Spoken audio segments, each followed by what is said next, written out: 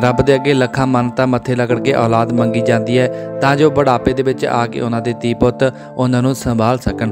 ਪਰ ਜੇਕਰ ਮਾਂ ਦੀ ਕੁੱਖ ਰੱਬ ਭਰ ਦਿੰਦਾ ਹੈ ਅਤੇ ਕੁਝ ਸਮੇਂ ਬਾਅਦ ਉਹ ਬੱਚਾ ਅਚਾਨਕ ਬਿਮਾਰ ਹੋ ਜਾਂਦਾ ਹੈ, ਤਾਂ ਉਸ ਬਜ਼ੁਰਗ ਮਾਂ-ਬਾਪ ਦੇ ਦਿਲ ਉਤੇ ਕੀ ਬੀਤਦੀ ਹੋਵੇਗੀ?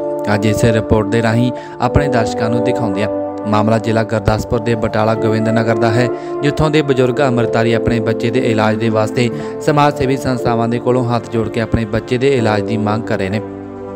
ਬਜ਼ੁਰਗ ਮਾਂ-ਬਾਪ ਨੇ ਦੱਸਿਆ ਕਿ 14 ਸਾਲ ਦੀ ਉਮਰ ਤੱਕ ਉਹਨਾਂ ਦਾ ਪ੍ਰਦੀਪ ਸਿੰਘ ਸਹੀ ਸੀ ਅਤੇ 8ਵੀਂ ਜਮਾਤ ਦਾ ਪੇਪਰ ਦੇ ਕੇ ਜਦ ਘਰ ਆਉਂਦਾ ਤਾਂ ਅਚਾਨਕ ਬਿਮਾਰ ਹੋਣਾ ਸ਼ੁਰੂ ਹੋ ਜਾਂਦਾ ਜਿਸ ਤੋਂ ਬਾਅਦ ਹੁਣ ਲਗਭਗ 20 ਸਾਲ ਤੋਂ ਇਸੇ ਤਰ੍ਹਾਂ ਹੀ ਬਿਮਾਰੀ ਦੇ ਨਾਲ ਲੜ ਰਿਹਾ ਹੈ। ਨਾ ਹੀ ਖੁਦ ਕੁਝ ਖਾਂਦਾ ਹੈ ਅਤੇ ਨਾ ਹੀ ਕੁਝ ਪੀ ਸਕਦਾ ਹੈ।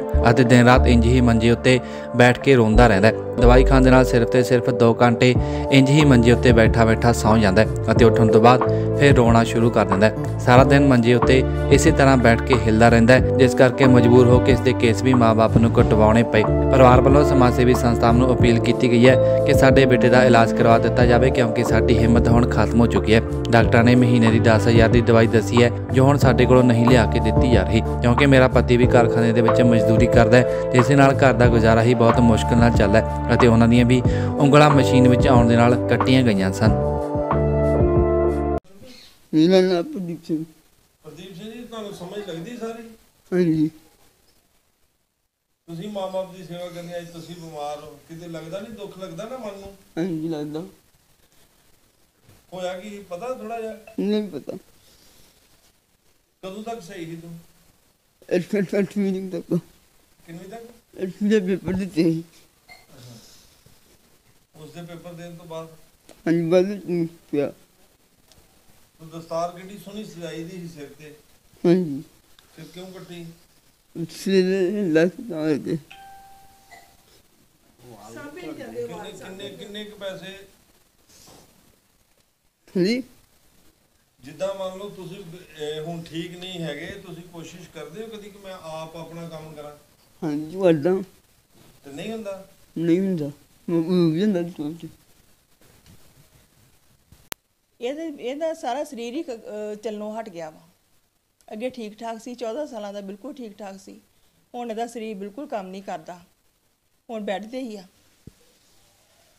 ਤੇ ਹੁਣ ਖਾਦਾ ਪੀਤਾ ਵੀ ਇਹਦੇ ਕੋਲ ਕੁਝ ਨਹੀਂ ਜਾਂਦਾ। ਇਹਦੀ ਦਵਾਈ ਜਿਹੜੀ ਹੈ ਡਾਕਟਰ ਨਾਲ ਡਾਕਟਰਾਂ ਨੇ ਕਿਹਾ ਹੀ ਆ 10000 ਰੁਪਏ ਦੀ ਚੱਲਦੀ ਆ ਮਹੀਨੇ ਦੀ।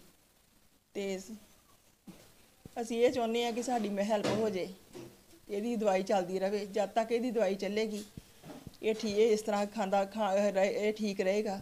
ਬਾਕੀ ਉਸ ਤੋਂ ਬਿਨਾਂ ਇਹ ਰਹਿ ਨਹੀਂ ਸਕਦਾ। ਖਾਣ ਪੀਣ ਤੋਂ ਬਿਨਾਂ ਰਹਿ ਸਕਦਾ ਦਵਾਈ ਤੋਂ ਬਿਨਾਂ ਨਹੀਂ ਰਹਿ ਸਕਦਾ ਇਹ। ਤੇ ਅਸੀਂ ਬੜੇ ਔਖੇ ਹਾਂ ਸਾਡੀ ਮਦਦ ਕੀਤੀ ਜਾਵੇ। ਦਵਾਈ ਖਾਣ ਦੇ ਨਾਲ ਕੋਈ ਫ਼ਰਕ ਪਿਆ ਲੱਗਦਾ? ਦਵਾਈ ਫ- ਖਵਾ ਖਾਣ ਨਾਲ ਕੋਈ ਫ਼ਰਕ ਨਹੀਂ ਪੈਂਦਾ। ਦਵਾਈ ਖਾਣ ਨਾਲ ਬੇਹੋਸ਼ ਹੋ ਜਾਂਦਾ ਵਾ। ਮੁੜ ਕੇ ਇਹਨੂੰ ਜੇਕਰ ਇਹ ਇਸ ਤਰ੍ਹਾਂ ਰਵੇ ਤੇ ਫਿਰ ਤੇ ਕੁਝ ਖਾਦਾ ਪੀਤਾ ਵੀ ਨਹੀਂ ਜਾਂਦਾ ਹੈਗਾ।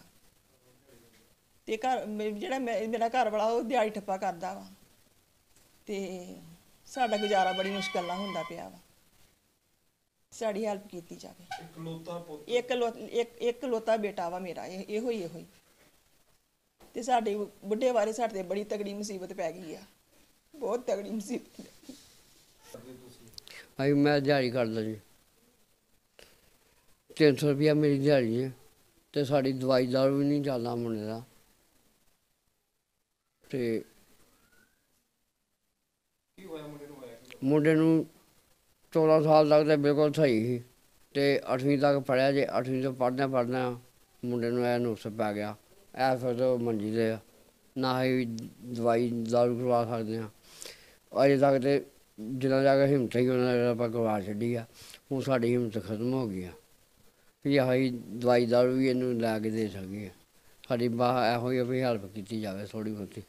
ਨਹੀਂ ਕੀਤੀ ਜਾਂਦੀ ਵੇਲੇ ਤੁਸੀਂ ਸਾਹਮਣਾ ਸੀ ਤੇ ਅੱਜ? ਅੱਜ ਆਪਾਂ ਇਹਨੂੰ ਸਾਂਭਣੇ ਆ। ਇਹਨੇ ਸਾਨੂੰ ਸਾਂਭਣਾ ਸੀ ਆਪਾਂ ਹੁਣ ਇਹਨੂੰ ਸਾਂਭਣ ਡਏ ਆ। ਤੇ ਸਾਡੀ ਬਾਹ ਮਦਦ ਕੀਤੀ ਜਾਵੇ।